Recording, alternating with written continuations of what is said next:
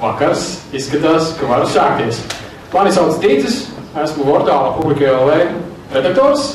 Šodien svinām mūsu pirmo gada jubileju.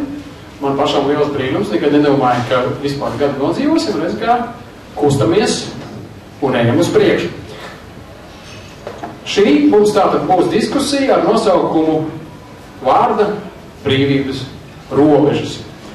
Vispār interesanta diena sanāca, sāku skatīties interneta portālos, kas tad notiekās, izlasīju ļoti interesantu komentāru par mani.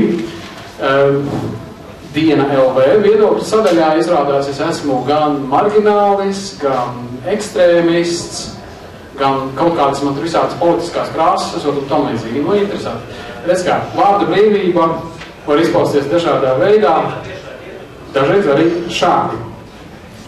Bet tātad, šodien mums viesos panelī ir krietni daudz cilvēku. Um, iepazīstināšu ar visiem pēc kārtas. Tātad pirmais man blakām šeit ir Mārtiņš Hiršs, tikko atgriezies no ASV, viens no Skeptika Fē kluba dibinātājiem. Var aplaudēt. Tālāk viens ir Artūrs Kučs no Latvijas Universitātes cilvēku tiesību speciālists un principā arī vairāk specializējas tieši par vārdu brīvību un pulcēšanās brīvību. Iepriekšēji pateikšu, viņš nedaudz ātrāk mums projām apmēram bez 15.8, jo viņam ir lekcijas. Tāds aktīvs cilvēks. Tālāk mums viens ļoti aktīvs jaunietis Armāns Leimanis. Arī viens no Skeptika Fē darboņiem, un vispār arī internetā daudz ko dara aktīvi pret akta, ir protestējis, rīkojas akcijas, ļoti skaisti. Tālāk mums ir Iveta Kažoka no Politika LV, Providus, politoloģi, kā tev vēl pietiek? Ar to arī es domāju, ka pietiks. Pietiks. Blogotāji, twitterotāji. Arī blogo aktīvi, tvīto aktīvi. Tālāk mums ir viens pārliecināts libertārietis, žurnālists no ziņaģentūras Leta, Juris Kāžā ar plašu bagāžu, ārzemēs izdzīvojies ASV, Zviedrija, cik saprot, arī dažādas citas valstis. Ar šādu strīmītu. Un visbeidzot mums ir Dace Dzinauska. Es vienmēr mēģinu kļūdīties sociāla antropoloģija, tā taču ir. Nē, tā arī ir. Jā, šoreiz nenākļūties. Super. Jā, tātad šis te bagātīgais panelis mums mēģinās eh, gudras lietas stāstīt eh, par vārda brīvību un tās robežām. Es vēlētos sākt ar nelielu atgādinājumu par to, ko par vārdu brīvību ir teicis tāds klasiķis kā Džons Stjorts Mīls. Ja? Nu, viņam ir tas pamatojums, kāpēc vajadzētu vārdu brīvību atļaut pēc iespējas plašāku, bet tur ir vairāki argumenti. Pirmkārt, ka ja viedokļus apspiež, nu, tie viedokļi pirmkārt var būt viedokļi uzskati, atziņas, nu, varbūt, tur varbūt, pa- uh, viņas varbūt pilnībā patiesas. Arī, ja kaut kāds uzskats nav pareizs, tad tur var būt kaut kādi patiesības graudi iekšā. Un, lai to līdz galam tā noskaidrotu, tad tomēr ir jāatļauj dažādu arī pretēju viedokļu apmaiņu. Nākamais punkts ir, e, arī ja ir sabiedrībā stingri nostiprināti kaut kādi uzskati, priekšstati par kaut ko, tie ļoti ātri pārvēršas par stereotipiem, nu, un tas jau vairs nav īsti labi, jo, jo cilvēks tomēr iet uz priekšu, nāk jaunas atziņas, mēs mācāmies kaut ko jaunu, un visbeidzot, Ja jau mēs runājam vispār par kaut kādu racionālu domāšanu, tad nu, kā var vispār kaut kāds uzskats būt, ja tas nav izveidojies diskusijas ceļā, kaut kādu savu viedokli pamatojot. Nu, tā uzskata Džons Stjorts Mils. Jautājums, protams, ir, nu, cik tad lielā brīvībā to vārdu brīvību tomēr laist vai nelaist. Un jebkura civilizēta sabiedrība tomēr ieņem kaut kādas robežas. Es gribētu sākumā, lai katrs no jums īsi e, pauž savu uzskatu, izmanto savu vārdu brīvību par to, kāda ir situācija Latvijā, kādi ir mūsu sāpīgie punkti, neatrisinātās problēmas, varbūt kādi gadījumi, ko jūs varat pieminēt, kas ir apspriešanas vērti. Mārtiņ, tu lūdzu pirmais. Jā. Uh, es gribēju sākt ar to, ka es nu atgriezos no Amerikas un uh, man ir šausmīgs čatlēk, un ja sāk planīties vai, vai, vai kaut kāds muļķības runāja, tad vienkārši neņemiet to vērā. Drīkst vārdu brīvību atļauj arī muļķības teikt droši. Un par tām problēmām, kas ir Latvijā, uh, kas skeptiķiem vienmēr ir aktuāla, to, ka dažādiem neracionāliem, pseidozinātniskiem viedokļiem un argumentiem ir pārāk liela ietekme. Ja mēs skatāmies uz to pašu pride kustību un tā tālāk, protams, tas vārda brīvības ietvaros viņi to drīkst darīt, bet uh, tas tā skeptiķu uzstādījums ir tāds, ka sabiedrība būtu jāizglīto un jāpadara racionālāk ar kritisko domāšanu, lai šādi viedokļi nebūtu tik populāri un neizskanētu tik plaši. Ja tu redzi nu, tādu, teiksim, negatīvā nozīmē radikālu viedokļu izpausmes, nu, kā kaut ko, kas būtu jārisina, vai tā būtu mazāk. Mhm. Artūr, lūdzu. Jā, paldies par uzaicinājumu. Man tā vienā vārdā būtu laikam grūti uzreiz to galveno definēt. Es domāju, ja mēs domājam par problēmām, tīri tā globāli, tad te ir vairākas, kas pēdējā laikā ir izskanējuši viens, ka varbūt ir, ja mēs paskatāmies uz gan uz Nacionālo elektronisko plašsaziņas līdzekļu padomi, gan varbūt arī uz tiesu institūcijiem, ir dažkārt tie varbūt nav tādas konsekvences. Žurnālisti šodien, nu, ja mēs runājam tieši par presi, es nedomāju par individiem, bet tieši mēs runājam par mēdījiem, nu, kad viņi nevar, tiksim tā, konkrēti tiešām paļauties, ka tie, nu, vārdu brīvības tās garantijas, viņas tiks, tiks visos gadījumos nodrošināts. Teiksim, tā praksē diezgan tādā no gadījuma uz gadījumu. Nav vēl, teiksim, viņa pietiekami, liekas, nostidojušies tie principi. Otra lieta, kas parādās, nu, gan kāds apakai ir dienas pārņemšana, gan tagad, ja mēs runājam par TV3 savām te apvienošanos, jautājums par žurnālistu iekšējo aizsardzību pret, nu, pret mēdī īpašniekiem. Cik neatkarīgi mēdī, tiksim, ir šī žurnālisti var, var justies paši savā darbībā, vai viņi ir aizsargāti pret īpašnieku ietekmi. Tas ir, teiksim, tas otrs jautājums, kas, manuprāt, teiksim, arī parādās. Un tā, kas nav tas klasiskais, ka valsts nāk virsū, bet kur pats īpašnieks varbūt nosaka politiku un tos, kas, kas nepiekrīt šai politikai, nu, viņi ir spiest aiziet prom. Tā, tas būtu tā īsti. Šis jau. Um, nu jā, nu pirmkārt jau man ļoti uh, simpatizē Džons Stjorta mielīdējas, un man šķiet, ka vienīgiem ierobežojumiem, ka būtu jāpastāv attiecībā uz individiem, uh, būtu gadījumos, ja tie var izraisīt varbūt kādu tiešu konfliktu, tas nozīmē varbūt pūļu uzkurināšanu pirms kāda tāda tā, pulcēšanās. Un, un, šeit man atmiņā nāk gadījums, par ko arī Juris ir, ir, ir ļoti labi zinošs, ir neonacistu Andri Jordan, kas pirms apmēram pieciem gadiem publiskā formā, apmēram tādā kā šis, izteica nu, tiešām, tiešām sliktas idejas, tādas raksturojot kurinošas, un viņš par to saņem reāli cietumsodu. Man šķiet, ka tas ir tāds vairāk mazāk kauna traips Latvijai tādēļ, ka kaut arī šīs idejas ir, ir nu, tiešām tāds, kāds mums ir, nepatīkams, viņam būtu jābūt iespējai tās paust publiski. Kaut vai tikai tāpēc, sekojot Džonam Stjortam Milam, mēs vēlreiz varētu savu uzskatu patiesību pārvērtēt un, un saprast, kāpēc tieši mums šīs, šīs idejas nepatīk un lai mēs neieslīgtu dogmās. Un tas arī jā, ir ļoti cieši saistīts ar to, ko Mārtiņš teica par tām idejām, kas ir ļoti populāras no, um, nu, varbūt ne pārāk racionāli cilvēku domājošu puses. Uh, man, man ļoti patīk, viņiem ir iespēja tiešām izpausties uh, un, un rakstīt uh, blogus un, un tam līdzīgas lietas tikai tāpēc, ka tas ļauj labāk saprast, kāpēc tieši viņi kļūdās un kur tieši viņi kļūdās. Un es domāju, ierobežojumiem vārdbrīvības ziņā viņiem noteikti nevajadzētu būt nekādiem, ja tāpēc, mums būtu krusnotais materiāls kritiķiem.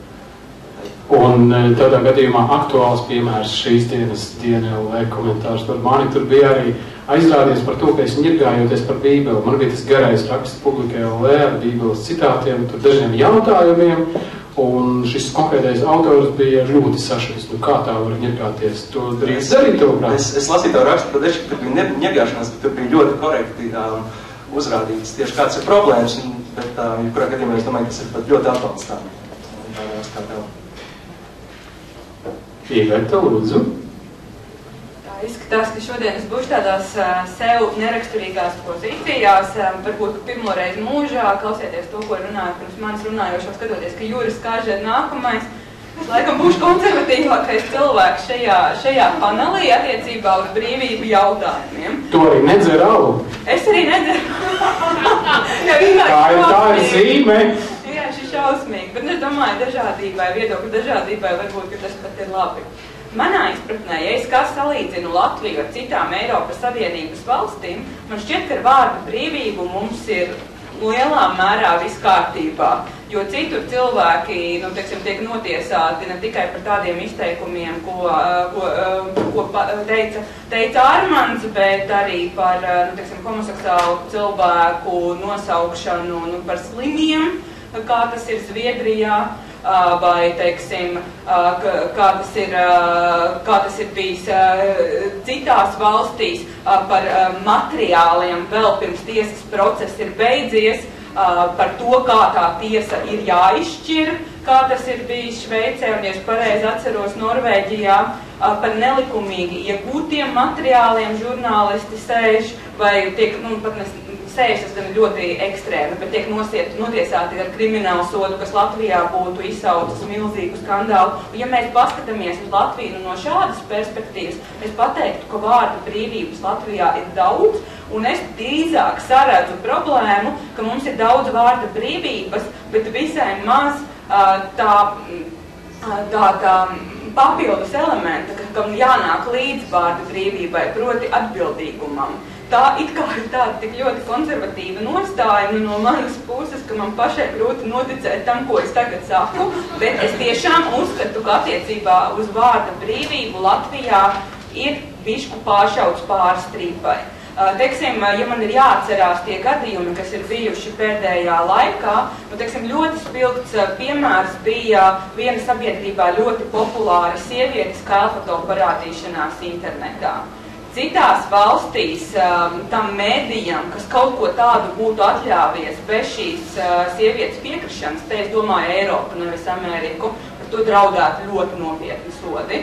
Līdzīgi, nu, teiksim, ka kāda, kāds mēdījs to vien dara vairāku gadu garumā, kā publicē materiālus, nu, no, lai iebiedētu izmeklētājus, prokuratūru, tiesu, uh, lemt, Uh, un uh, savādāk uh, nekā nu, teiksim, viņiem vajadzētu pēc viņu tiesiskuma apziņas mēģinot izrakt visādus netīrumus biogrāfijā, izsakojot šos tiesnešus, prokurorus. Tas arī kaut kas ir kaut kas tāds, kas Eiropas Savienības valstīs kopumā tomēr izskatītos diezgan anarchistiski. Tas ir runājot par pieteikumu Uh, š, nē, šeit nē. es vairāk domāju neatkarīgo rīta avīzi un kā viņi ir atspoguļojuši visu veidu izmeklēšanas pret Aivaru Lembergu. Pietiek, kom tur viņi ļoti balansē dažkārt uz tā, kas ir pieļaujams un kas nav pieļaujams robežas. Es teiktu, ka dažos gadījumos citās Eiropas Savienības valstīs viņiem būtu sanākušas nepatikšanas, jo tie materiāli reti tiek ielikti nu, tādā kontekstā, kas ļauj uh, saprast, cik nopietni tās ļoti reputāciju traumējošās ziņas ir vai nav uztveramas, cik ļoti var tiem faktiem ticēt. Jo vārda brīvība Eiropas Savienības nu, valstīs nāk līdzi tomēr arī šī žurnālista atbildība pārliecināties un būt ļoti drošam par to, ko viņš publicē, jo tas, protams, ka var sagraut cilvēku reputācijas, bet pietiek, kom nav pats pilgtākais gadījums Latvijā. Labi. Jūri, tev noteikti būs kaut kas pilnīgi cits sakams.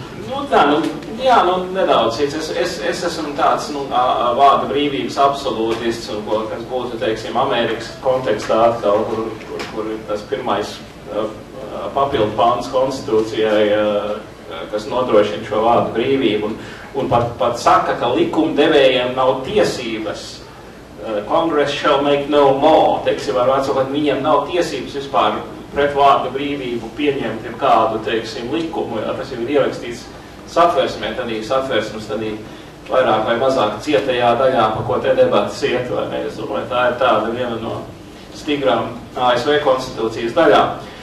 Uh, bet vakar, šis otrais vakars, kad man jārunā par vārdu brīvību, vakar vakarā Latvijas Universitātes debašu klubs rīkoja diskusiju par to, par vai pret aizliegt praidu. Un tur es savu nostāju formulēju tādi, ka vienā pusē tur sēdēja, nu, burtiski sēdēja divi melnsvārči, jo abi kungi bija ieradušies savā amata, nu, teiksim, tur melnos uzvalkos ar apaklītēm, uh, eh, Pujāts un Švits un, un, un Jānis Roškalns. Un, uh, vienīgi mašs, mašlāko, nu, tas nav praidibinātājs, bija tāds sportiski ģērbies. Un es teicu, šos cilvēkus varētu nomainīt pret tiem, kas gribēja aizliegt šādu vai tādu izpausmu 16. martā un pret tiem, eh, kas vēlēt, vēlētos aizliegt šādu vai tā, nu, teiksim, 9. māja visu to baladānu, kas tiek rīkots pie uzvaras pieminekļa. Un mana nostāja nemainītos. Es teiktu, ka es, es, es neatbalstu šādu lietu, teiksim, aizliekšanu. Princips ir fundamentālais libertāriešu princips. Nevienam nav tiesības pirmam ķerties pie spēka līdzekļiem pret citu. Tikai pašaizsardzības ziņā. Tātad, ja? Ja pašaizsardzības, jā, pašaizsardzības ziņā, jā. Un šī aizliegums ir drauds vai arī reāla valsts spēka pielietošana pret cilvēkiem, kuri citiem pāri nedara, cit, pret citiem, teiksim, ar koku neviens netiek dzīts uz, uz, uz, uz, uz praidu vai koku, kā es arī arī minēja, teiksim, vienu pasākumu, ko arī pagājuši vasarā aizliedza, un te ar vienu tādu amerikānisko frāzi tulkot, kā tas ieplīsušais keramikas gabaliņš Uldas Freimanis, angliski crackpot, uh, uh, rīkoja tās svinības, lai sagaidītu uh, nu, to, ka Vācu armija bija 1. jūlijā ienākusi Rīgā, teiksim, to, kas tur vēlāk notika, acīm redzot, viņš nebija neko izlasījis, ne? Un, eh, bet arī to nevajadzēja aizliegt, jo viņš nevienam pāri nedarīja. Ja? Eh, drīzāk darīja viņam pāri ar policiju, tāpat arī nu, patās laikā bija kaut kāds incidents, ka pašvaldības policija interesējās, kas tie tādi ir. Kas tas ir? Droši vien presē varēs pēc tam lasīt. Un, nu, tas, ka Latvijā varbūt ir itin liela vārdu brīvība, no vienas puses tā tas ir, ka te viss, te, te var jebkādas muļķības rakstīt un runāt, un, un tas ir ar attiecēs uz žurnalistikas standartiem, te man te neiedziļinoties detaļās, te bija viens stāsts, kas parādījās dienas biznesā, kas balstījās uz pilnīgiem burgiem, par ko es dabūju ciest, kāpēc es to neuzrakstīju. Nu, es patīks, man ļoti labs iemesls, kāpēc es to neuzrakstīju, jā, tāpēc, ka, ka tas bija fucking bullshit, jā, kā teikt, Old jā. Un, un, bet no otras puses mums ir gadījums ar Smirnofu. Mums joprojām ir viena tāda fonā slēpta, eh, tāda kā jaunā neo KGB vai Čeka drošības policija.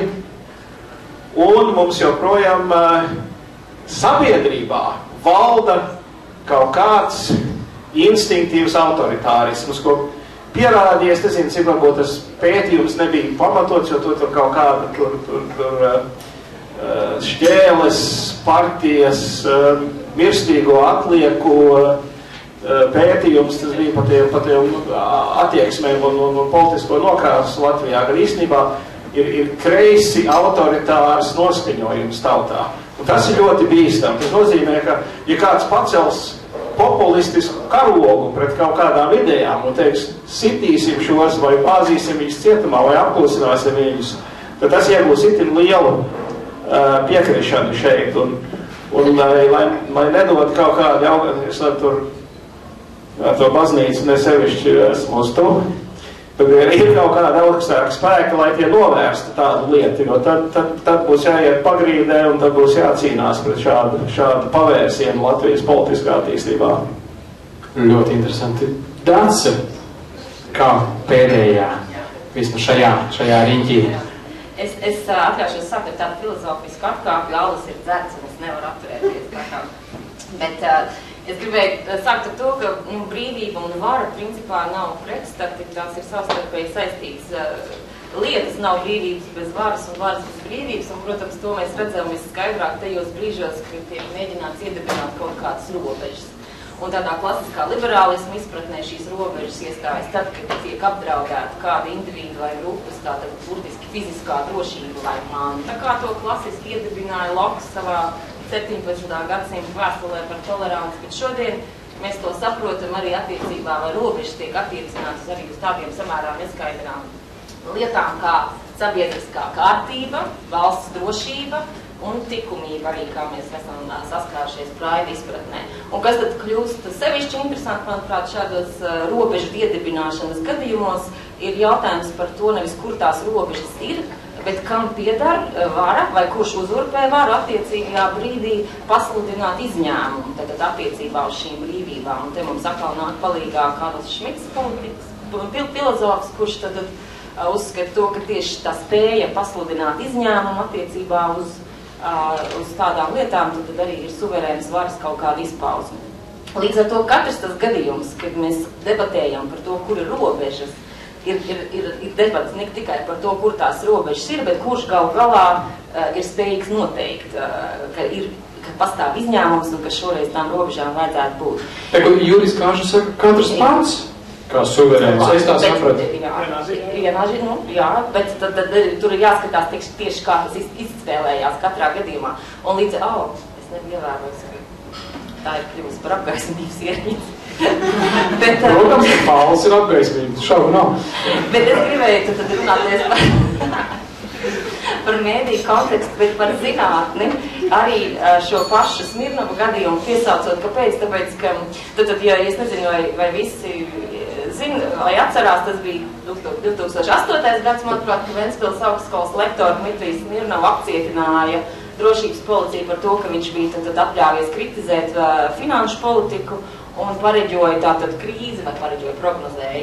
Uh, šķiet, viņu apsūdzēja par baumu izplatīšanu par, par latu devalvāciju, un arī 2010. gada gadījums par to, ka Sergejam Krukam sanāca randiņš ar drošības policiju, tāpēc, ka viņa kolēģis uh, Latvijas Zinātnes akadēmijas korespondētāja loceklis profesors Valdmans, viņu iesūdzēja drošības policijā par to, ka viņš tad bija uh, izteicies par savu vai, vai intervēts ticis par savu pētījumu uh, kādā ziņu portālā, kur viņš tad bija apstrīdējis to, ka vienīgajam pamatam uh, Latvijas valstī vajadzētu būt latviskajām vērtībām.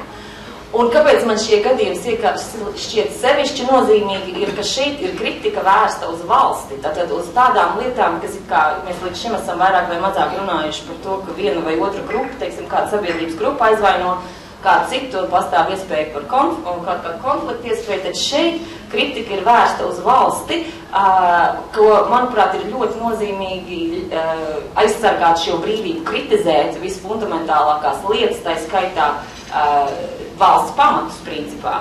Jo, ja mēs to nevaram darīt, tad, teiksim, tad mums acīm redzot nepieder šī suverēnā vara, un suverēnā vara pieder kādai mistiskai tautai, kura tika iedibināta, es nezinu, kurā laikā un telpā, bet atrā, katrā gadījumā netiek attiecināta uz mums.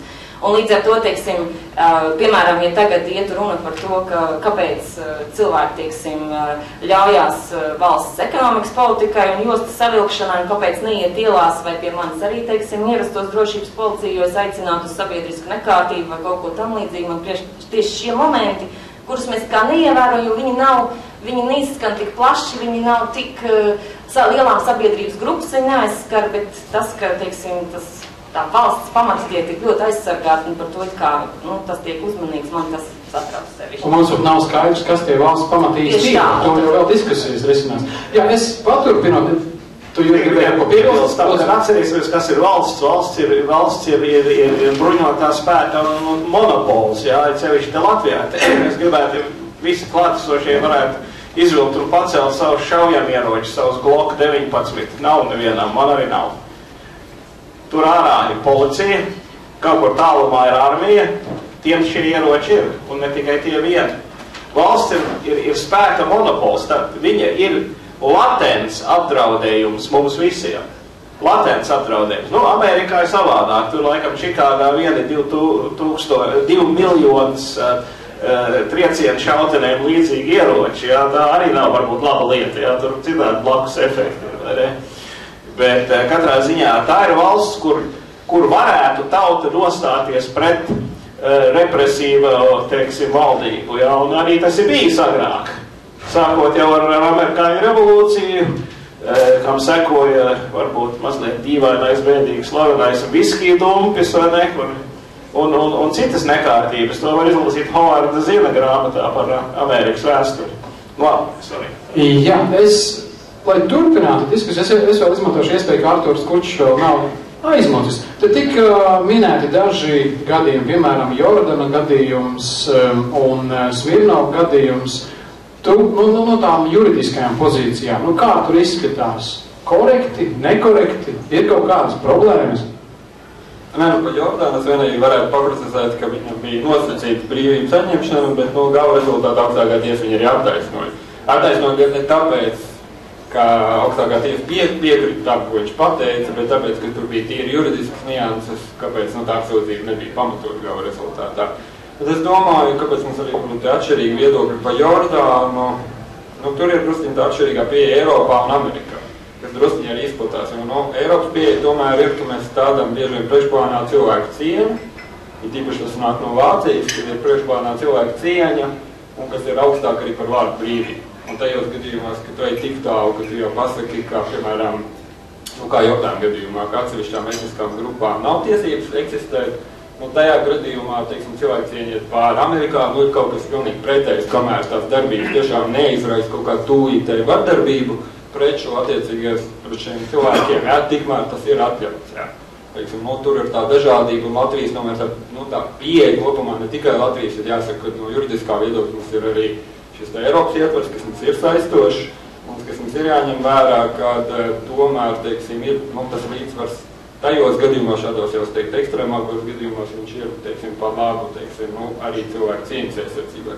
Tad Jordāna gadījumā būtībā nu, izskatās, ka viss ir daudz maz ok no tavā skatījumā, juridiskā viedokļa. Nu, tas Jordāna gadījums, protams, jā, nu, tur katrs, es vienkārši vedēju tā globāli, tur, protams, katrā individuālā gadījumā mēs varam skatīties. Protams, tā situācija tur bija tāda provokatīva. Nu, viņš bija iepriekš sodīts, cik es saprotu, un tā tas jau arī ietekmēja. Protams, tas konteksts jāņem vērā, bet no otras puses, protams, tas bija, tā bija tāda diskusija zālē, jo sēžat pretī, teiksim, viņš, nu, pajā, viņam tika pajautāts, viņš arī no vienas puses tāds drusciņ provokatīvs jautājums, nu, teikt, ka viņš arī gāja, teiksim, arī, nu, diezgan skaidri pateica, ka atsevišķām etniskām grupām, ebrejiem un arī čigāniem, un ka viņiem nu, nav jāpastāv šajā pasaulē. Jā, tā kā diezgan teiksim, konkrēti. Uh, no otras puses, protams, jautājums ir par sodu samērīgu un par tām lietām, mēs jāvērš šeit krimināla sankcijām un redzot, bet, protams, tur arī, nu, tas konteksts arī tika ņemts ārā, ka viņš bija priekš krimināla sodības. Nu, Smirnā gadījums, jā, nu, te arī tika minēts kruks pēc tam, nu, diemžēl tas ir tas, ko es sākumā arī teicu, kad, nu, nav tādas, tādas stabilas prakses, ko redz arī nākotnes gadījums, ka tiesības sargājušās iestādēs, nu, tas, tas no gadījuma uz gadījumu. Jā, no vienas puses mēs varam teikt, mums tā vārda brīva ir visai plaša, es piekrītu, teiksim, Ivetai, ko teica, bet no otras puses, tāpat laikā neviens žurnālists, ja vien viņi nestrādā lielajās kompānijās, kur viņiem ir pietiekama laba juridiskā aizsardzība, viņš nevar justies tomēr pasargāts. Ja, ja teiksim, viņš īpaši raksta sižetus pār sabiedrībā zināmām personām, Atkal otrs gadījums TV3 un Flings, kur praktiski pret uh, vēršanās notika nevis pret kompāniju, bet pret atsevišķiem žurnālistiem, prasot, man liekas, Flika gadījumu, viņš, man liekas, prasīja 50 tūkstoši no katra par morālo kaitējumu. Nu, ja jums ir šāda prasība, nu, nu jums nav savu jurista, labi jurista, tad jūs varbūt padomāsiet nākamreiz vai rakstīt, vai nerakstīt. Nu, ir atšķirīgs tiešām, nu, diemžēl ir arī šādi veidi precedenti, kas, nu, nenāk pa labi. Nu, jā, tā ir problēma arī Latvijā, manuprāt, žurnālistiem tieši, ka tad, kad žurnālistu, nu, kāds uzskata, ka viņš ir uzrakstījis kaut ko nepiedienīgu aizskrošanu tam līdzīgi, ja viņu kāds iesūdz tiesā, viņš tur stāv kā viens, kā individs. Nevis kā, pie, kā piemēram citās valstīs atbildīgs ir patiesībā mēdījis, kurš to ir publicējis. Pirmkārt jau. Nu, tas ir viens. Es paturpinot vēl nedaudz, uh, gribētu citēt Kristoferu Hitchensu, kurš... Jā? Attiecībā uz elektroniskiem plašsaziņas līdzekļiem, kāds, kurš sižetā, piemēram, tad gan īstenībā sauc, piemēram, klasiskais piemērs tas pats TV laikmat gadījums, kad tā atbildības savs Latvijas radio tieši. Nu, kur bija, teiksim, tā atbildīga par rādotām sižetiem, tā ka nevienmēr žurnālisti tieši savs atbildības. Nu jā, vienkārši tie ir tie gadījumi, kurus zinu, ka cilvēki reāli ir tiesājušies, man daži vismaz ir, nu, viņi stāvējuši vieni tur. LNT. Nē, nu, jā, vismaz ar atbalstu, bet viņi iesūdzēja kā individu. Bet paturpinot, Kristofers Išķeņš, piemēram, uzskata, ka runāja par vārdu brīvību, jārunā ne tikai par brīvību kaut ko izpaust, bet par to, ka cilvēkiem ir tiesības dzirdēt. Kā mēs skatāmies to īvietu, piemēram, tu saki, ka, nu jā, varbūt tomēr vajadzētu vairāk ierobežot, kā ar manām, kā individu tiesībām uzklausīt, dzirdēt? Es varbūt gribu dzirdēt tās muļķības, ko kāds pauž, vai ir pilnīgi nekorektu viedokli, vai, nu, ko kāds uzskata par nekorektu. Um tiesības saņemt informāciju, protams, ir, bet tās tiesības saņemt informāciju parasti ir no valsts, nevis no citiem, no citiem cilvēkiem. Tas, ka mums ir kaut kāda interese, teiksim, uzzināt arī tādus, tādu informāciju, kurš kāds pilnīgi saprotam iemeslu dēļ vēlās slēpt, Nu, tas ir nu, tiksim, cilvēcīgi saprotami, bet vienlaikus tas mūs nepilnvaro nu, pieprasīt, lai mums visa tā informācija tiktu dota. Jo kādos apstākļos parasti tiek ierobežota vārda brīvība? Tad, ja teiksim, ir jāsargā kādas cilvēka ļoti sensitīvi dati, teiksim, ar kādām slimībām šis cilvēks ir slimojis. Vai mēs tiešām gribam, teiksim, ja žurnālists uzroka, nezinu, šādu informāciju par jebkuru no mums, vai arī, nu, ne, ka tas tiek publicēts. Vai, teiksim, kaut kādi valsts noslēpumi. Tur arī ir iemesli, kāpēc šāda informācijai um, būtu jābūt pasargātai. Atsevišķos gadījumos Nē, bet tad, ja teiksim, žurnālists redz, ka tur ir eh, ļoti labi pamatojumi, kāpēc uh, sabiedrībai par to būtu jāzina. Bet tādā gadījumā tam žurnālistam tomēr ir daudz plašāks pienākumu lokus nekā ir pierasts uzskatīt Latvijā. Tā ir ļoti rūpīgi tā informācija jāpārbauda, ir jāizsver sekas tam, kas notiks, ja tas tiks publiskots, jādomā par to, kā tā informācija ir iegūta un cik ticami ir avoti, ir jāmēģina pēc iespējas labu kontekstu iedot savam lasītājam, skatītājam, klausītājam, tā lai tas nu, nebūtu vienkārši plikšķis. Blīkšķis, kurš, kurš vienkārši iznīcina attiecīgo, attiecīgo nozari vai nu, kas nu tur varētu būt. Tur ir, tur ir, tur ir jānotiek normālam, atbildīgam darbam. Un parasti tas ir žurnālistu pašu organizācijas, kas seko līdzi tam, vai žurnālisti šos pienākumus un atbildību pret sabiedrību ievēro. Nevis valsts. Jā, Bet tajos gadījumos, ja žurnālistu savienības tādas neizveidojās vai negrib īstenot šīs funkcijas, parasti to sāk darīt valsts. Dažkārt notiek tā, kā tas notika Lielbritānijā, ka valsts redzēja, ka žurnālisti nevar apvienoties un mēģināt paši sevi regulēt, un piedraudēja izveidot savu regulējošo institūciju. Un tad žurnālisti sarosījās un tomēr sāka nu, tiksim, nodarboties ar pašregulāciju. Jo cilvēkam ir ne tikai tiesība saņemt informāciju, bet arī tiesība saņemt korektu informāciju atbilstoši labiem žurnālistikas standartiem. Pretējā gadījumā mēs dabūsim publisko telpu, kur ir pilna ar dezinformāciju, ar nomelnojošiem faktiem par cilvēku biogrāfiju, ar noslēpumiem, kuriem tādiem nebūtu jābūt. Protams, ka tās konkrētās robežas katrā gadījumā ir ļoti rūpīgi izsveramas. Tas nav viegli, un tur es pilnīgi piekrītu, ļoti svarīgi, kas tās definē. Eiropas Savienībā tās robežas par katru gadījumu atsevišķi tomēr lielā mērā definē žurnālistu pašorganizācijas institūcijas un pēc tam tās pārbauda tiesas. Nē, pie mums, laikam, Latvijā žurnālisti sniegt. Es redzu, ka jau pirmie jautājumi parādās publikā. Es uzreiz saku, tie, kas jaut, vēlas kaut ko jautāt, paceliet roku, un tad vajadzēs nākt priekšā, jo mums ir diezgan īsi vadi. Bet vēl viens komentārs no Mārtiņa vispirms. Es pilnīgi piekrītu, bet tā, tas, tā problēma ir tāda, ka um, mēdī kļūst par to, kas par infotainment sabiedrība pieprasa nevis kvalitīvu informāciju, nevis ziņas, bet izklaidi. Tā kā nu, tā informācija, kas nonāk pie patērētāja, ir, ir atūdeņot un diezgan primitīva. Un ne tikai tas, arī nu, sabiedrība, nu, teiksim, sab, nu, mediji raksta par to, ko sabiedrība pieprasa. Un ja sabiedrība pieprasa šādu atūdeņotu vienkāršu informāciju, tur ir problēma. Mediji pieprasa šo tā kā kalfotovu un sabiedrība ir uz kalfoto. Un tādēļ vajag runāt par to, kā, nu, kādiem veidiem sabiedrību izglītot un informēt ar faktiem un ar nu, tā kā informāciju, nevis ar nu, ūdeni. Jā, tie ir nāc jau šoreiz, es jau tikai pateikšu pāris vārdus pa vidu, e, runājot par kalfoto. Tie, kas nav redzējuši, ieskatu noskatīties filmu Nācija par Lariju Flintu, tur par šo tēmu un par vārdu brīvību. Reāls notikums, reāls stāsts forša filma. Lūdzu, jautājums. Tu esi no radio napa, vai ne? Bijušā raidījumā.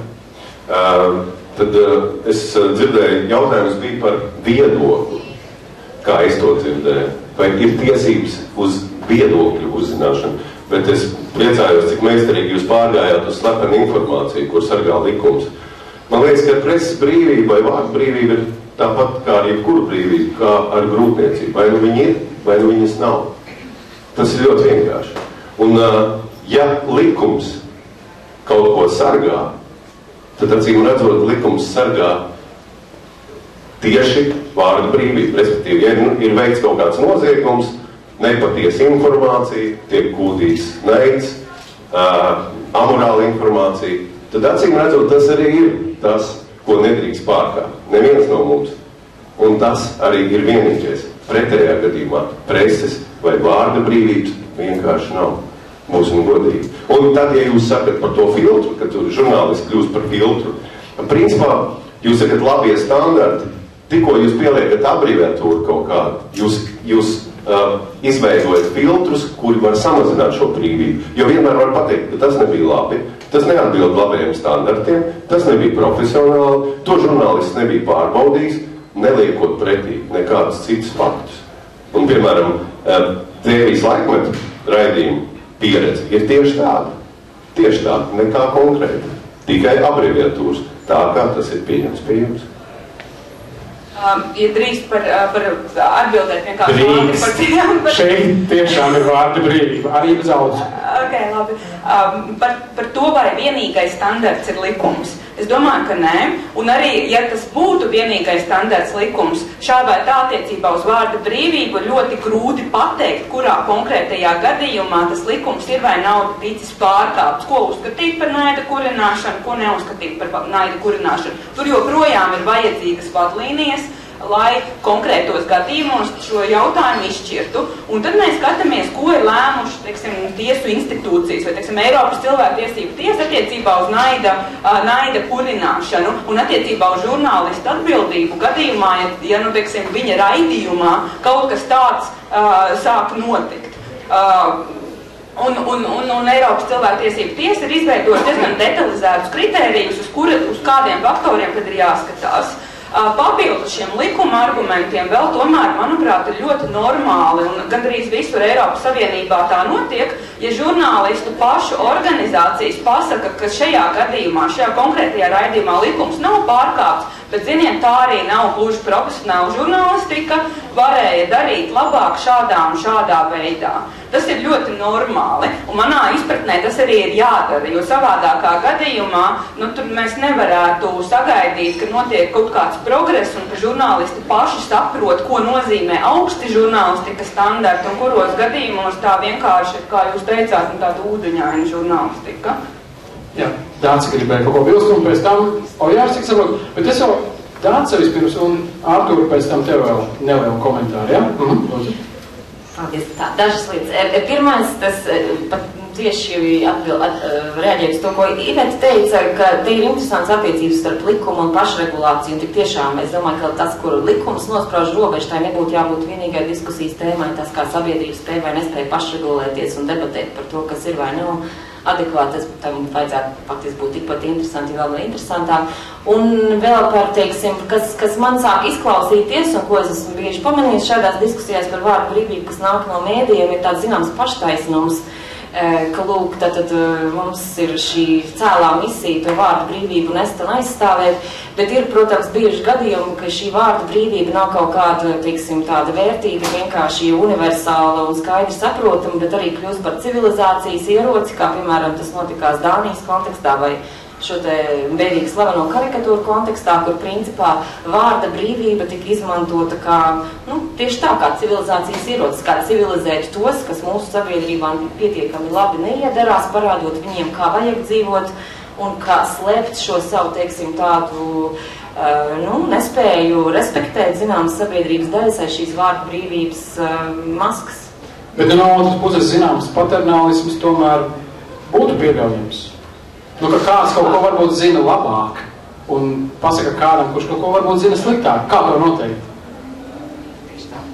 Labi, palicim pie jautājuma. Artur, es tev gribēju pirms tu mūc projām, te izskanēja doma par mēdīju pašregulāciju un kā no otras puses, ka valsts mēģina regulēt. Tavuprāt, kā labāk? Mm, nē, nu pašregulācija, es domāju, ka tas, protams, ir pozitīvi, ka tādā veidā, ka žurnālisti paši sanāk kopā un dod to savu tomēr profesionālāku viedokli, jo kas ne cits kā paši žurnālisti var zināt to labāk, teiksim, to pilnveidot. Latvijā, protams, vēsturiski ir bijušas tās problēmas, mums tagad ir gan asociācija, gan savienība, mums ir divas organizācijas un, un, un arī...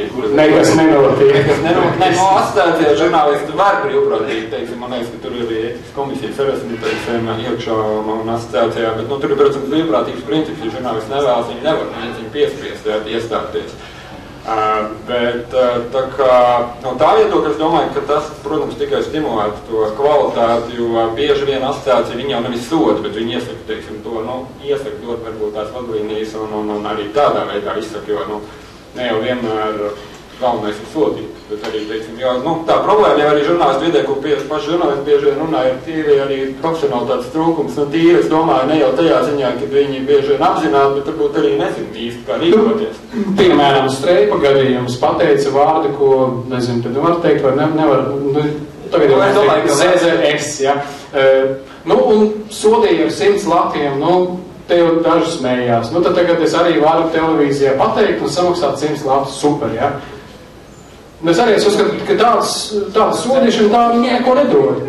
Nē, nu, tas ir vienkārši no ārpuses. Tur ir atsevišķi. Bet es domāju, ka, ka, ka, pozitīvi, ka paši žurnālisti tāda pašorganizēšanās un varbūt kaut kādu savu iekšējo standartu un standartu, vismaz vadlīniju kaut kādu veidošanu, tas noteikti palīdzētu. Tas apturētu valsts pirmkārt. Un otrkārt arī, ja lietas tiešām nonāk galu galā, ir kaut kāds tiesiskais izvērtējums, tad domāju, ka, nu, jebkurš tiesnesis viņš tomēr arī ņems vērā profesionālās organizācijas ietekmi.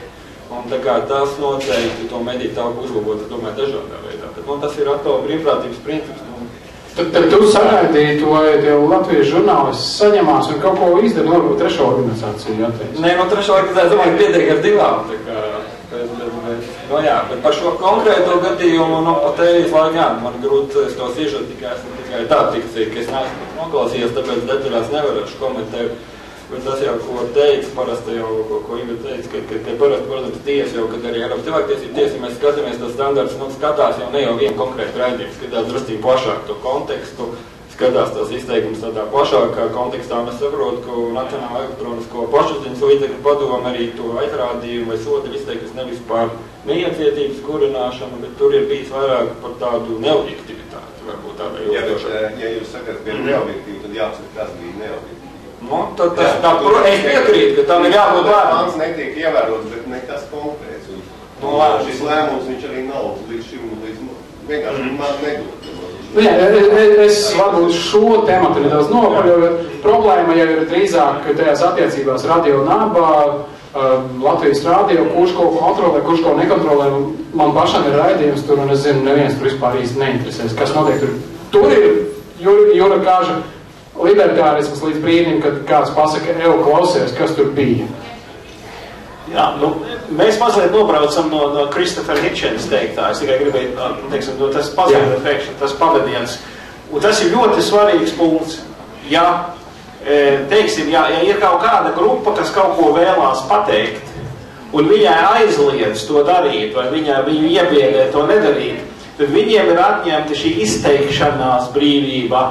Bet vienlaikus visiem, kam varbūt tas varētu interesēt, kam varbūt to, kam, kam ir tiesības to dzirdēt, viņu informatīvais lauks tiek sašaurināts. Neprasot man, vai es gribu e, neklausīties e, Ulda Freimaņa kaut kādus mūrgus vai, vai, vai, vai e, teiksim, kaut kādus sludinātājus vai kaut ko citu. Man tētim neprasa. ļoti patīk. Viņš šos video, kur ir Rūdis Freimans, viņš viņus gandrīz vai kolekcionē. Viņš nepiekrīt, ka teikt, viņš uzskata, ka baigi labais entertainment. Nu, nē, visādi, teiksim, nē, nu, teiksim, krakpoti vienmēr ir interesanti, ja viņi ir kolorīti. Bija ja, Jansons atmodas laikā. Edvīns, dzīves vēl redzēts. Jā, kaut kad divas gadus atpakaļ.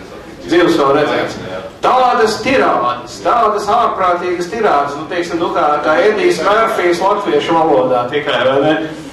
Un eh, kāpēc man būtu atņemtas tiesības viņu izklaides pēc kaut vai noklausīties, jā? Tāpēc, ka tas neatbilst Eiropas Savienības plānu vadlīnijām. Nē, Rūdi Freiman jau, man liekas, neviens nav īsti apturējis. Es viņu ļoti bieži redzu Jā, jā, jā, televīzijā. jā. Nu, labi. Ja vai tev ir cits Jā. minūtot vārds? Jā, pirms es eh, dodu vēl vienam cilvēkam jautājumu uzdot, droši celiet rokas, es mēģināšu piefiksēt un gatavoties arī nākt priekšā nostāties un smuki kaut ko pajautāt. O jā, lūdzu. Paldies. Man drīzāk ir tā kā jautājums. Ir tā, kā žokē. Nu tā. Tur bija tas uh, tā frāze par to, ka nu, vārdu brīvība nedrīkst ietekmēt kaut kādas uh, nozars vai valsts nākotni. Teiktu, ka ir jābūt kaut kādai pašregulācijai. Bet mēs varam atcerēties gadījumu ar Ungāriju. Tur bija komunistiskās partijas premjerministrs, kur sarunu, uh, nu, to monologu ierakstīja, kur viņš atzinās, ka viņš ir vēlētājiem melojis, ka viņš, viņš viņus ir apmānījis un ka viņš nedomā pildīt to, ko viņš solīja. Pēc tam šo visu nopublicēju un uh, pie varas nāca Fides, kur dabūja konstitucionālo vairākumu un tagad pilnībā val, maina uh, valsts nākotni jau ilgtermiņā. Un, nu, tad vai žurnālistiem vajadzēja sevi ierobežot, jo viņi jau saprata, ka komunisti vairāk netiks pie varas pēc šī e, nu, līks, es nezinu, kā viņu nosaukt tagad, noplūdes. Vai tomēr vajadzēja paturēt šo informāciju un nepublicēt? Nu, es domāju, ka vispār žurnālistiem nav jādomā strateģiski tādā kontekstā, ka ja viņi redz, ka ir sabiedrības labums no tā, ka viņi publicē konkrēto informāciju, viņiem nav jādomā par politisko kontekstu, kas var notikt pēc nākamajām vēlēšanām.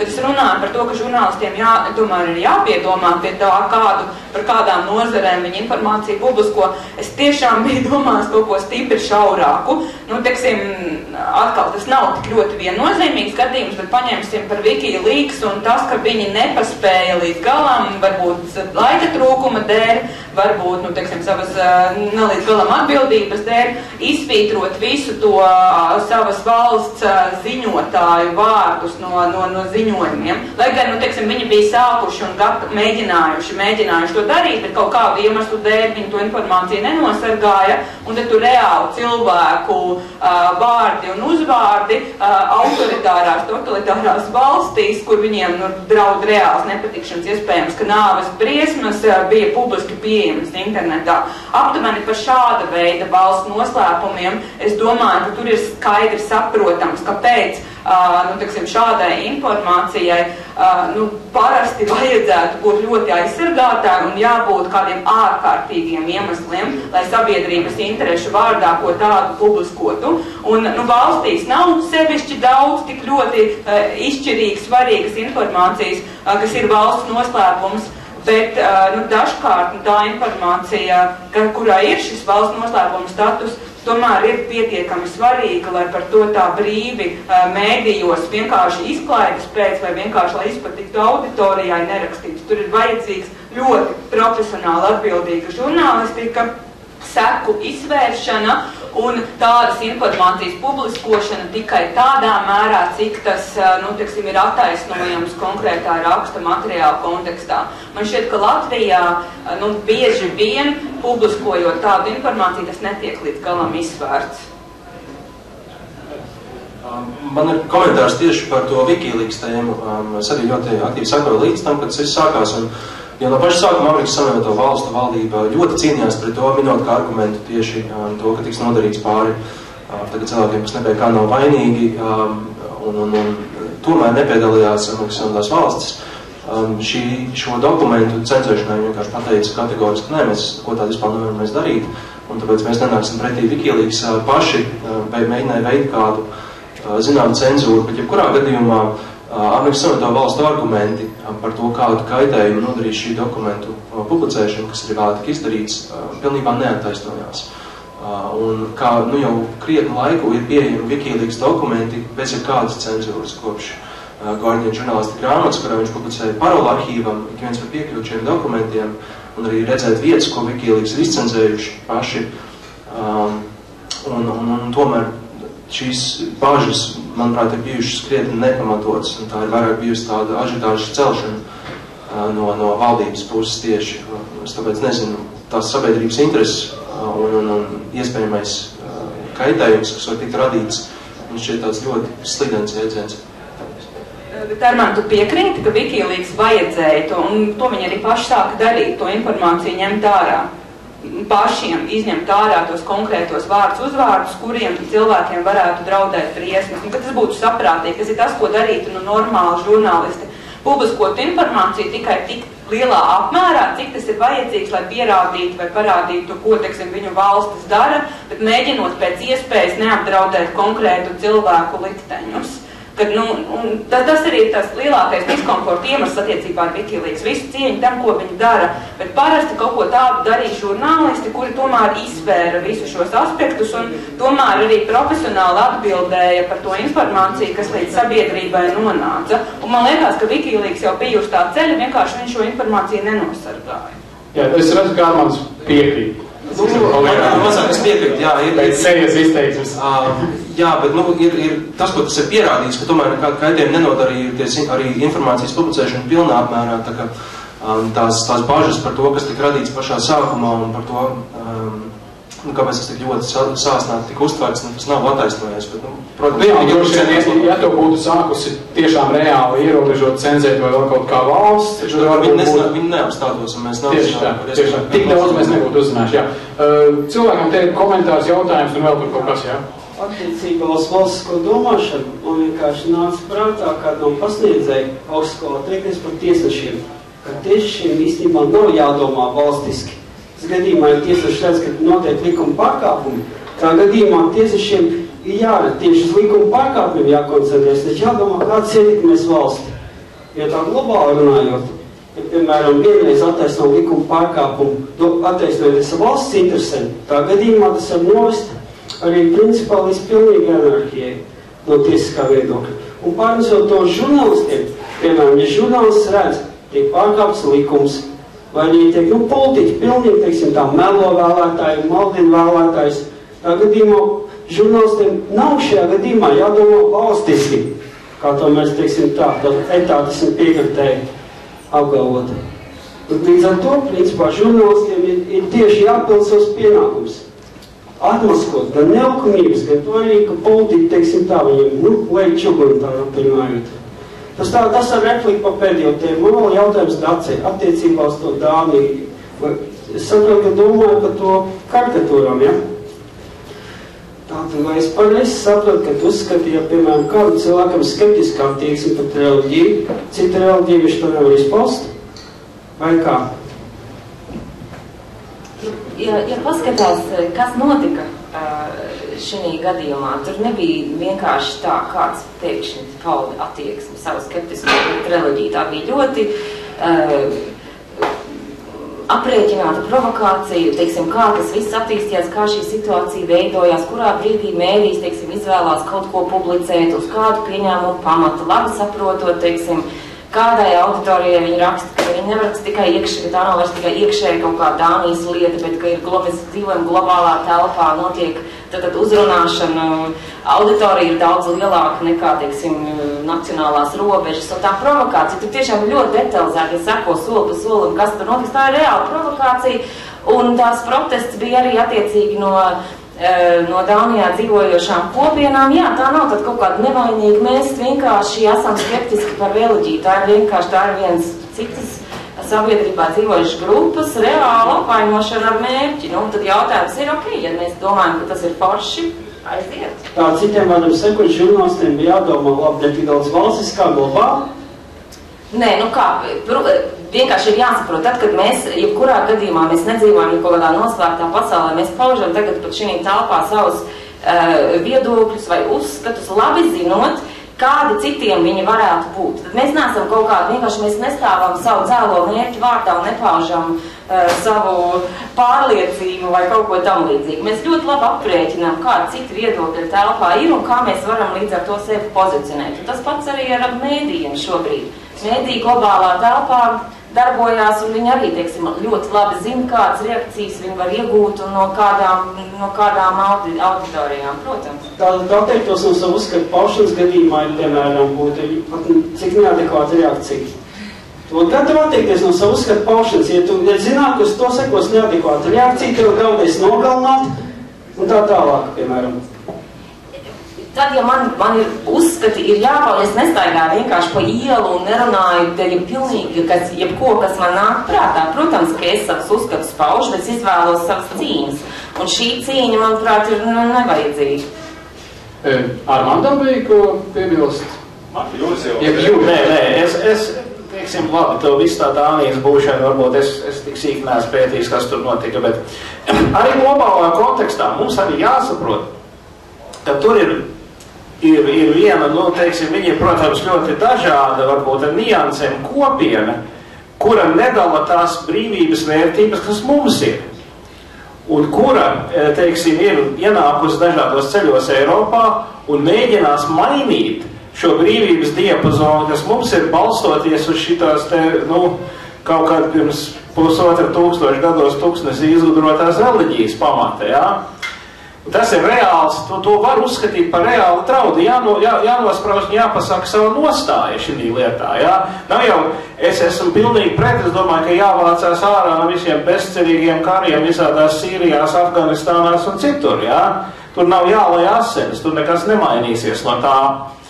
Bet ir jāpasaka, it sevišķi, ja ir vismaz viens vai divi perēkļi šīs vietās, kur tiek attīstītas kodola tehnoloģijas, jā, lai mūs pārmācītu, jā.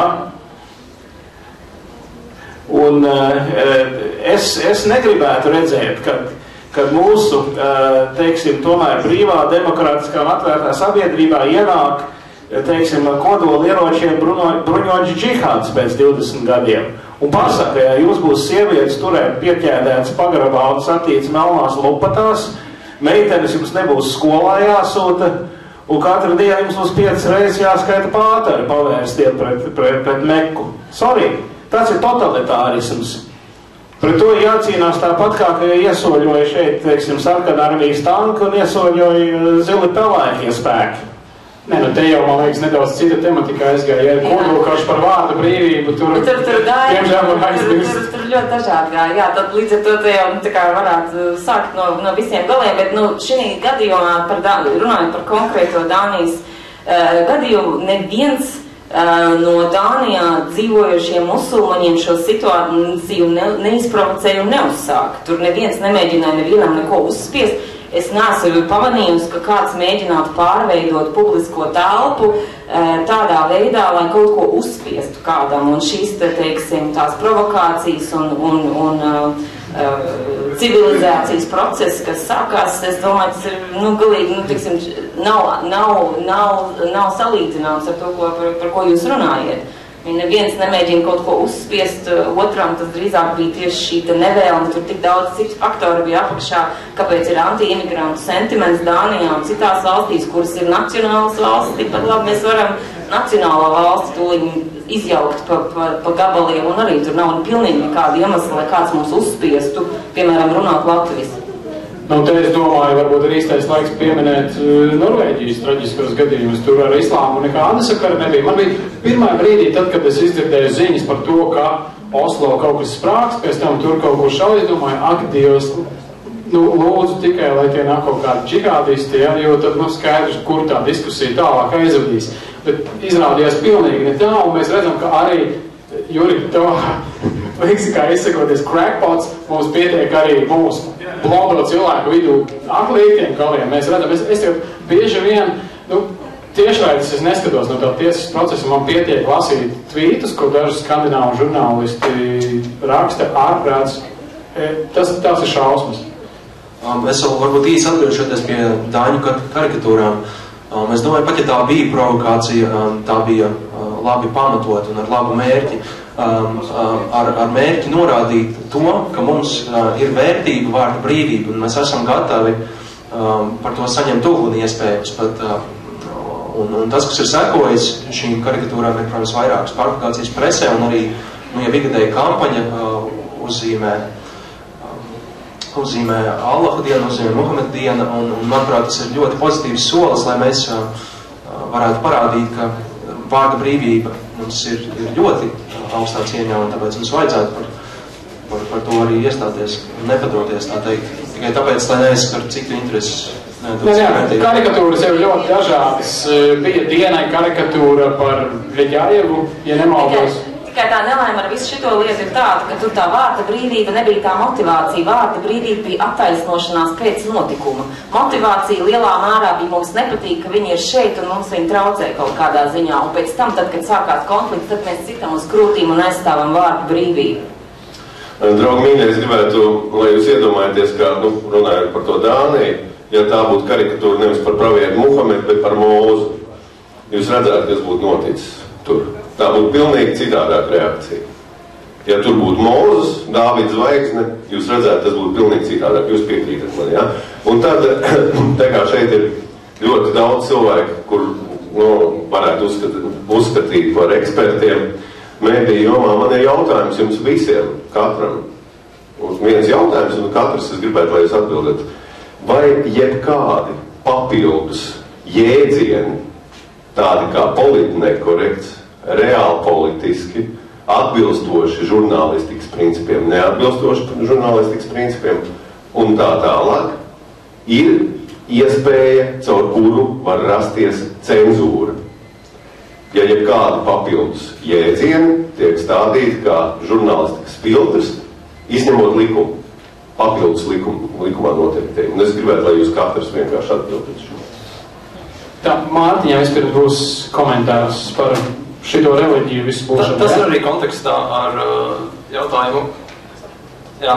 Uh, tas, par ko mēs runājam, ir vai vajag tolerēt no, netol, netoleranci.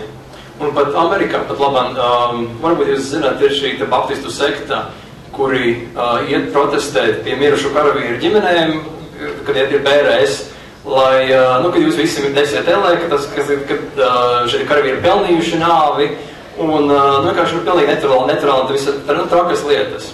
Un pat labāk viņi ir iesūtīti tiesā, un augstākā tiesa izskata lietu, vai vārda brīvi iekļauj to, ka tu vari miruša karavīra ģimenes bērēs iet un teikt viņiem, ka jūs visi esat ellē, ka dēls ir nomiris, un tas ir lieliski. Tā kā tas ir, tas ir ļoti interesanti, nu, pašlaik tas vēl nav, tas ir tiesas procesā, bet ir iespējas, ka šī te absolūtā vārda brīvība, nu, tom, tomēr viņai nevajadzētu būt tik absolūtai. Kaut gan, ja godīgi, es esmu bieži vien prātojis par to, nu, kāpēc tad, kad kādu cilvēku apbērienam nekad nerunā par to, ka viņš tur varētu teikt arī ēlē. Un tomēr dzīvi visu laiku saka kaut ko labu, kaut gan ir tā padomā par kristīgo mācību. Ēles nav tiešām. Man vēlreiz jāpārlasa Bībele, es saprotu. Bet, bet ar ko atbildēt uz to jautājumu? Jā, pamēģiniet par to, par to jautājumu, un tad tālāk visiem Tā padarīt. ir parādīties cenzūrē. Viņa ir konkrēts jautājums. Vai tā ir iespēja parādīt? Jā. Jā, tā ir, protams, jā. Lūdzu tālāk. Es, es arī domāju, ka ir iespēja parādīties cenzūrē, bet šeit varbūt ir mazliet jāprecizē um, žurnālistikas kvalitātes kritērija, vai, to, vai tā būtu uzskatām par cenzūru. Piemēram, ja mēs veicam um, žurnālistikas balstīt uz faktiem, un kur ir um, uz, iz, uz izskatīt abi viedokļi, nu, tā jebkurā gadījumā būs labāk. Un es nezinu, vai var teikt, pretējā gadījumā nav veikta. Fakts ir tikai viens. Bet to viņi Nē, vienkārši In, interpretēt var katrs. Fakts ir viens. Viņam nav vajadzīgi desmit viedokļi. Fakts ir viens. Un ja kādam ir kaut kas pret šo interpretāciju, viņam ir tiesības uz citu interpretāciju. Citu. Tas nav iemesls, lai šo faktu neatskaņot. tam, tam es, es pilnībā piekrītu. Jā. Paldies. Nu, es domāju, ka tikai nu, tādā pašā mērā, kā teiksim, aizliegumu izplatīt nepatiesu informāciju, varētu kaut kādos apstākļos uh, vest pie cenzūras, aizvainot, teiksim, nezinu, aicināt uz vardarbību. uh, un, un, un tam līdzīgi. Tāpēc, ka uh, tur, tur, ir, tur ir duālas funkcijas. Protams, ka tie riski ir gan šajos gadījumos, gan attiecībā uz tiem piemēriem, ko jūs pieminējāt, politkorektums un, žurnā, politkorektums un žurnālistikas principu ievērošana. No otras puses, tas arī ir kaut kas, kas pasargā citu cilvēku tiesības, tā skaitā tiesības saņemt kvalitatīvu informāciju. Un es tur tos riskus redzu salīdzinoši mazus, tāpēc, ka parasti, uh, nu, teiksim, ja kādam pārmet politnekorektumu, tad tā sankcijas ir, nu, tīri morālas vai arī viņas nav bargas. Jā vai nē? Uh, Nebija jautājums, nebija. Bija- vai Bet ir- uz jūsu jautājumu ar jā vai nē nevar atbildēt, tāpēc, ka, tāpēc, ka, tāpēc, ka vairāki brīvība manā izpratnē, manā izpratnē, teiksim, žurnālistikas principu ievērošana un žurnālistikas principu uzstādīšana uh, var novest gan pie kvalitatīvākas informācijas sabiedrībai, gan atsevišķos gadījumos tas var tikt izmantots arī, nu, teiksim, pārmērīgi, un tad to varētu sākt pielīdzināt cenzūrai. Cenzūra, manuprāt, ir tas, ka valsts ie, iejaucās informācijas plūsmā. Valsts ar valsts spēku un ar valsts varu un ar soda mēriem. Jā. Ja valstī iekļauj šādus argumentus kaut kādā savā likumdošanā, jā, tad pavērās cenzūra.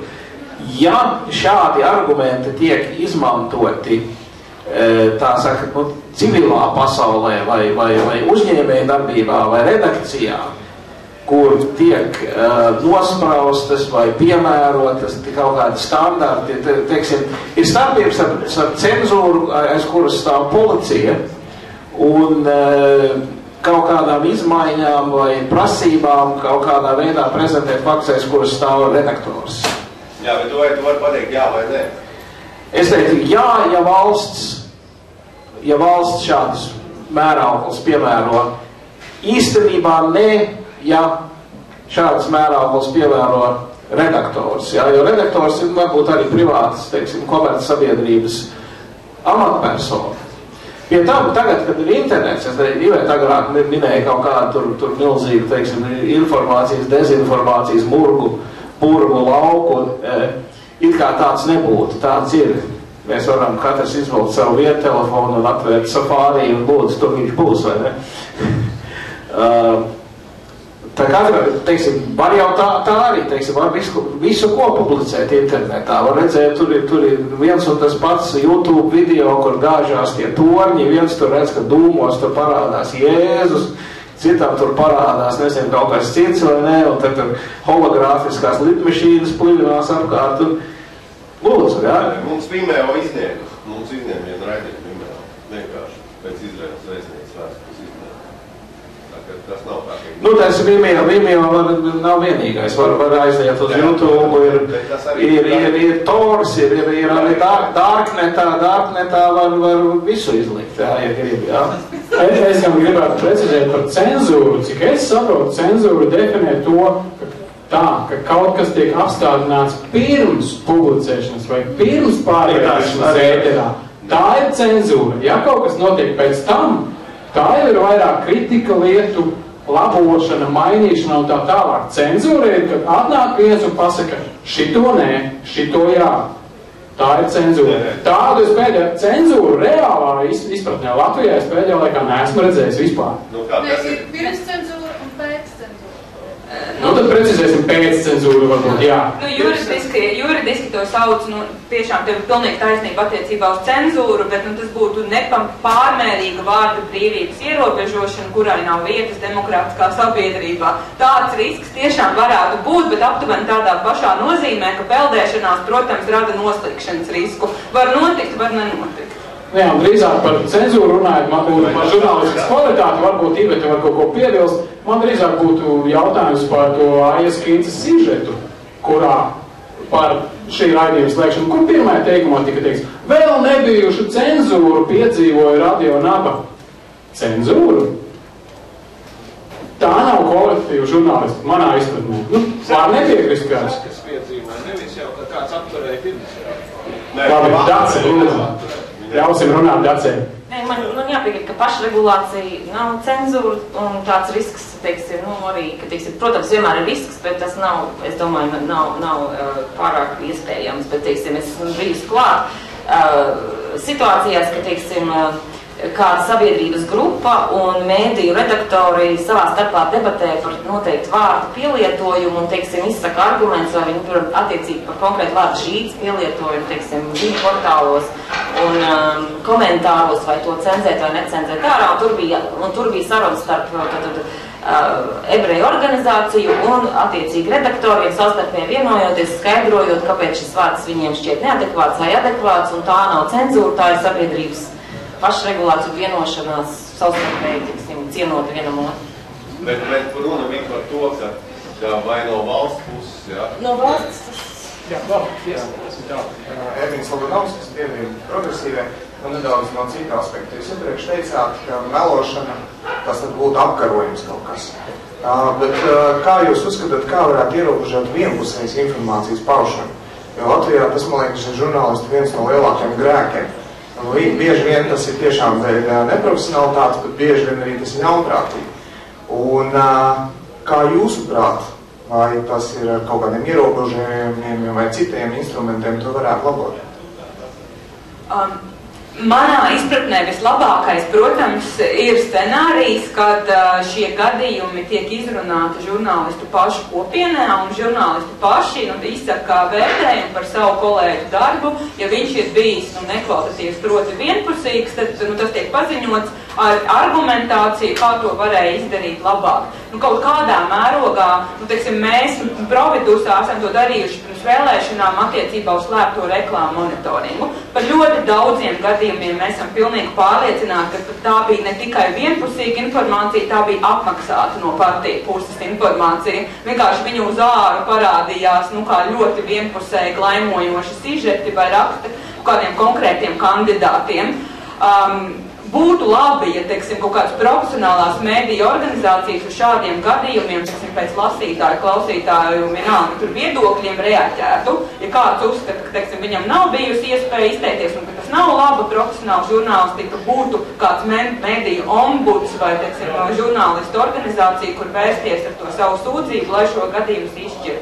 Nu, Latvijā, diemžēl, tas tā nav izveidojies un uh, ir spēkā tas daudz bargākais risinājums. Proti attiecībā uz rādio un televīziju, Nacionālā elektronisko plašsaziņas līdzekļu padome, tas ir valsts organizācija, jā, tā ir taisnība, bet vienlaicīgi likums viņiem uzliek par pienākumu sekot līdzi, vai žurnālistu, teiksim, darbs rādio un televīzijā, vai tajā tiek ievēroti plurālisma un daudzpusīguma kritērija, vai tur tiek ievēroti arī labas žurnālistikas standarti. Un es teiktu, ka valsts institūcijai, ko tādu izvērtēt, ir daudz sarežģītāk. Un, Uh, varbūt, tas nav optimāli, bet tas ir vienīgais, kas šobrīd Latvijā eksistē. Ja kaut kas tāds notiek rādio un televīzijā, tad ir sūdzība Nacionālajā elektronisko plašsaziņas līdzekļu padomē, lai viņi tālāk vērtē. Uh, kamēr žurnālisti paši nes, nesapratīs, ka viņiem tas ir jāvērtē, tikmēr tas tā arī būs.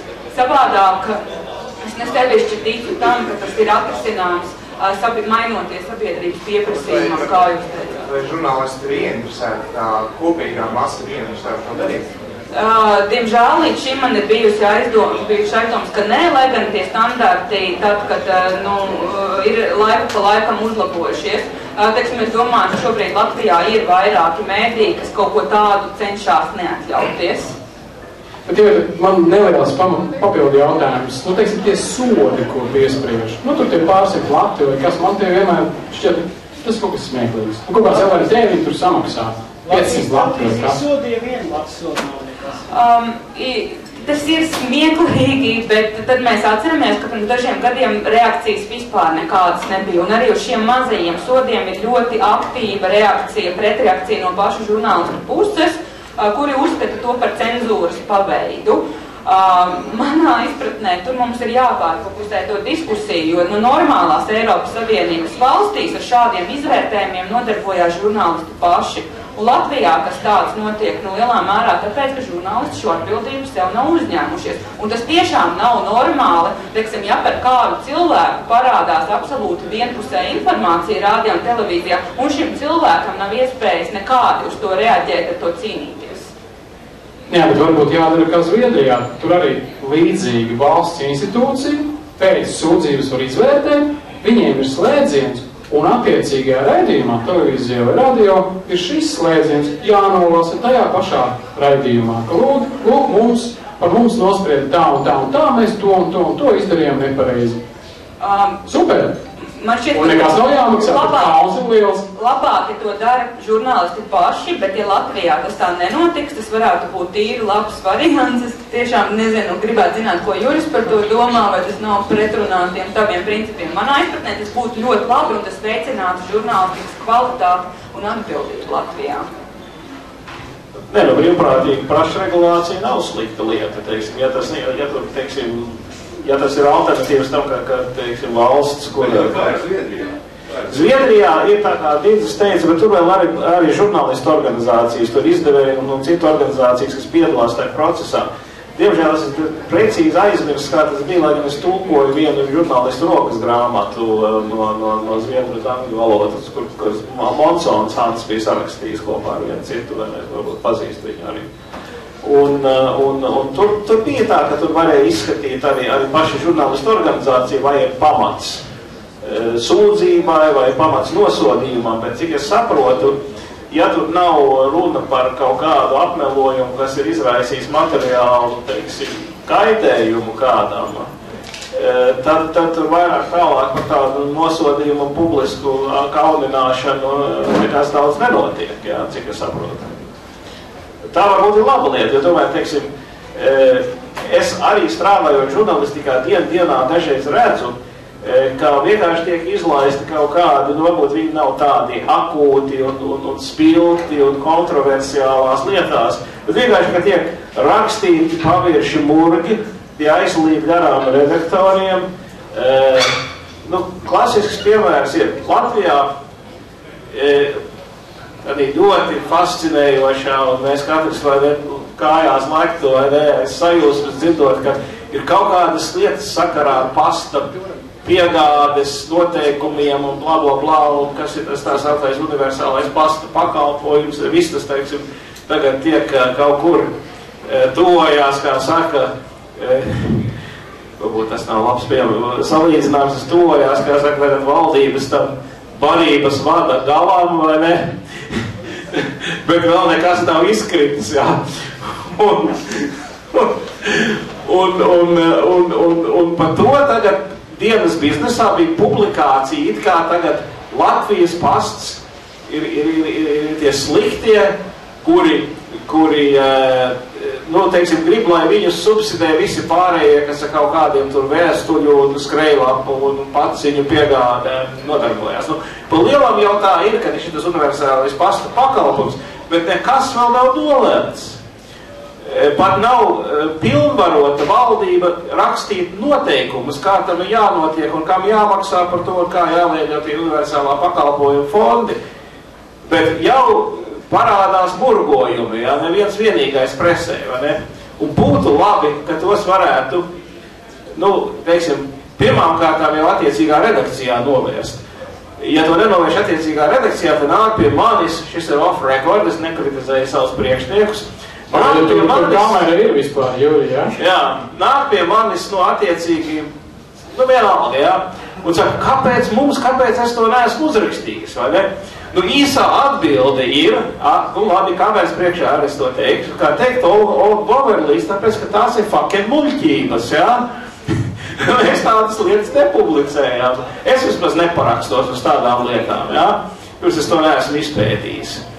Bet es nezinu, varbūt nav daudz žurnālistu Latvijā, kas, ka, ka, ka, kam, kam ir svarīgi, teiksim, ka es, es atdodu savu vārdu tam, ko es apgalvoju vai rakstoju, publicēju. Ja? Un uh, it sevišķi interneta uh, laikmetā, vai nekad blogeri sāk attīstīties, kuri blogeri dabūja vislielākos lasītāju un skatījumu skaitus, bija tiem, kuriem bija kaut kāda ticamība, to, ko sauc par cred, no credibility, vai ne? Un tas grauj, ja, ja cilvēks sasteigtā veidā publicē atkārtoti murgus vai nepatiesības vai savārstījumus, tad viņš grauj pats sevi. Jā, viņš to vienīgo vērtību, uh, kas žurnālistam ir, ir viņa ticamība. Jā, un tā ticamība žurnālistam seko. Tā organizācija, kur tu strādā, tā var nobankrutēt. Tu vari mainīt darba vietu vai ne, bet ja tu esi bijis darba vietā A, uh, strādājis kā lubraks, tad pieņems arī, ka tu darbu vietā B to darīs. Ja? Nē, es jau tieši gribēju nelielu piebildu par, par blogiem, ka tā ir fantastiska iespēja, ko Latvijā, manuprāt, cilvēki vienkārši ne, izmanto pārāk maz. Nu, ja žurnālisti raksta muļķības, nu uzrakstiet par to blogu, ierakstiet Twitterī, močiet viņiem virsū, nu, visas durvis ir vaļā, internets, kuram nav pieejams internets. Lūdzu, uz priekšu, Mārtiņam. Par, par to um, ka mēdīju regulācija, vai no valsts pašregulācija uzlabot kvalitāti, jā, varbūt dažos mēdījos, bet ne visos, tā būtu daudz muļķību un dezinformācijas. Un tā lieta, ko, nu, ko es argumentēju par sabiedrību, uh, nu, piemēram, man skolā es nekad nedzirdēju vārdu kritiskā domāšana.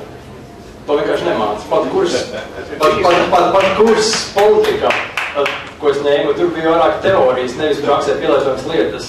Un vienkārši, ja tas tiktu mācīts vairāk, ja cilvēkiem mācītu vairāk analizēt, kritiski domāt, skatīties vairāk mēdījiem, kas ir, protams, sarežģīti, un tas, tas nav bijis ieviešams pāris dienās vai pat gados. Bet, nu, pašregulācija vai nu, valsts regulācija neiz, neuzlabotu mēdījus. Es redzu, ka laiks ir diezgan nepielūdzams. Mums ir viens vēl komentārs no publikas. Man savā ziņā pašsaprotams komentārs, bet arī saistīts ar to, ko teica par kritisko domāšanu, ka diskusijas nosaukums bija runas brīvības robežas, nevis vai runas brīvība ir vai nav. Un es nezinu, ko skeptika fē teiks, bet nu, tā savā ziņā ir loģikas kļūda teikt, ka ir vai nav, un ir nakts vai ir diena. Patiesībā ir ļoti daudz, kas pa vidu starp tām lietām.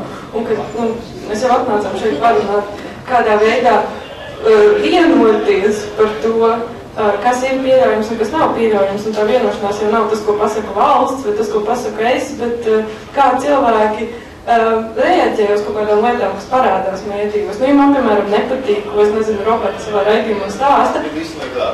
Nu, es patiesībā varētu ne tikai izslēgt ārā, es varētu tur pagānīties Twitterī, tur slimīgi pagānīties vēl kaut kur, vispār pateikt tās pilnīgas muļķības, un man liekas, ka vairāk cilvēkiem varbūt vajadzētu reaģēt uz muļķībām, ko viņi redz mēdījos. Jā, es, kā jau teicu, laiks ir nepielūdzams, mums pamazām ir jābeidz. Ja ir kāda vēl Ivetē vai, vai kādam vēl no publikas vēl kaut kāda piezīme, replika, jautājums? Lielākie meli, visdārgākie meli, īstenībā caur vislielākajiem kanāliem izgājuši. Nekas nav tik dārgs, kā, piemēram, me- meli par Irākas ķīmiskajiem ieročiem, kur ir apmēram 200 tūkstoši civilizētāji, pat 2 miljoni, tur tās tie cipari nepaskatām. Respektīvi, tie, ir- tie, tie ir meli, kur ir tie tik, tikuši pasniegti viskorektākā, visprofesionālākajā veidā. Un šie meli ļoti daudz šajā publiskajā mēdīju telpā, viņi netiek apstīdēti. Ja Nu, tiek, šajā ziņā es gan netiek. tādā pašā līmenī noteikti. Bet mēs jau par to zinām, tu par to zini, un daudz par to zina, un runāja visādas konspirāciju teorijas, cirkulē pietiekami daudz, manuprāt.